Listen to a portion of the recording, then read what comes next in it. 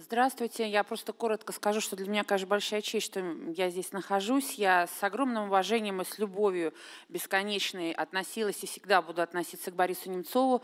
И благодарю за то, что мы имели возможность с ним общаться, советовать, и я могла быть полезной в том, чем он занимался. И даже однажды вместе с ним выступали в Нижнем Новгороде. И я все время теперь вспоминаю эту встречу. Поэтому еще раз спасибо всем, кто здесь э, дал нам возможность встретиться и поговорить. Я только поправлю вас, я в «Коммерсанте» уже три года как не работаю. Официально мои обзоры выходят каждую неделю на радиостанциях Москвы. Вот, но я действительно слежу пристально за телевидением, наверное, уж лет больше 20.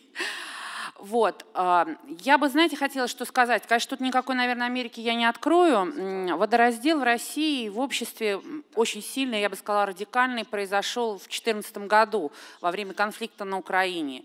И никакие указы, постановления, собственно, их и не было. У нас не была официально объявлена война между двумя странами. А, это, конечно, только силами российского государственного телевидения произошло. И, как сказал однажды Михаил Жванецкий уже после конфликта, ну, 40 лет – это минимум, наверное, Сакуров говорил, это минимум, сколько уйдет времени для того, чтобы нам восстановить отношения. Когда на общенациональных телевизионных каналах, которые охватывают 100% территории страны, а, в одном выпуске новостей по 10 раз говорят слово «фашисты» применительно к соседнему государству, дружественному, где говорят, в общем, большинство населения на том же языке, что и в России, э, здесь большего и не надо. Во время конфликта ушли на второй план все новости, даже новости о Единой России, поскольку я этим занималась очень жестко и мониторила, у меня об этом были и тексты, в общем, на некоторых, в некоторых СМИ, вот именно эта агрессия и эта непримиримость, а, местами переходящая в полную совершенно неадекватность, они, собственно, и провели вот этот а, водораздел между двумя странами. А на это уже нанизывалась, естественно, ситуация с Крымом, ситуация ненависти к Европе, к Западу, к Америке.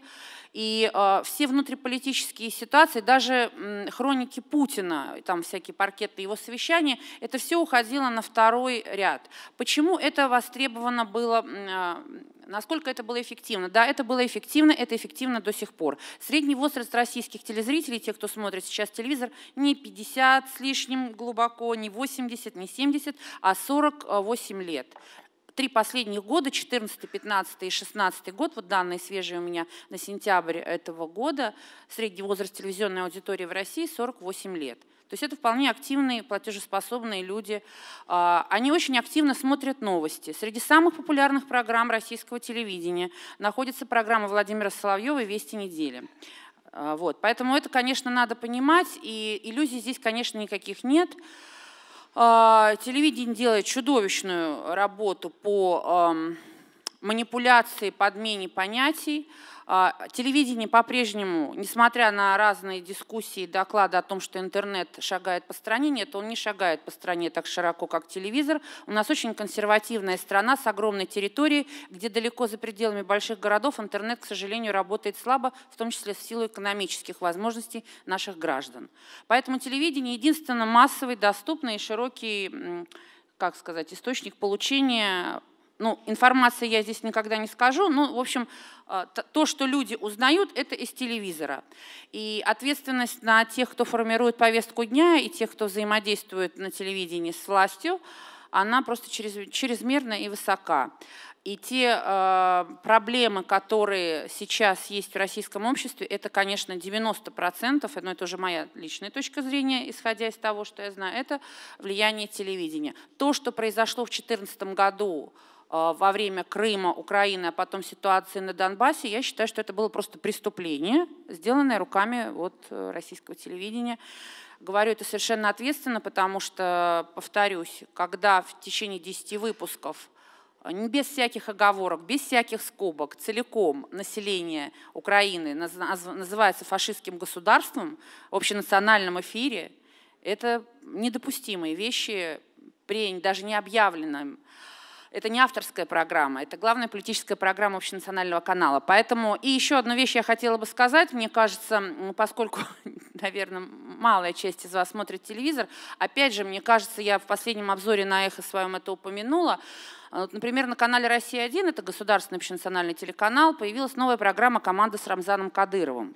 Рамзан Кадыров, безотносительно сейчас его даже политической деятельности, является главой субъекта федерации. Ни один другой губернатор в нашей стране, вот за все время, что существует уже новая Россия, не получал еженедельное шоу на общенациональном телеканале. Пусть оно даже сейчас выходит в ночном эфире. У меня нет ответа на вопрос, для кого адресована программа с Рамзаном Кадыровым, а, Почему именно этому главе республики надо подбирать помощников, почему об этом надо рассказывать российской аудитории, почему не Калининградской области, например, где у нас никак не могут выбрать там, Астраханской, Волгоградской, у нас 89 субъектов федерации, если я не ошибаюсь. Да?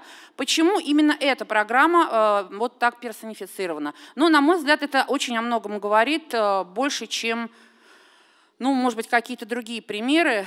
Не знаю, будет ли эта программа продолжена в свете последних событий, мне самой интересно, но вот такая программа у нас появилась. Мне кажется, это очень тревожно, если сказать мой необъяснимый тренд вот для нынешнего состояния нашего общества. Спасибо большое.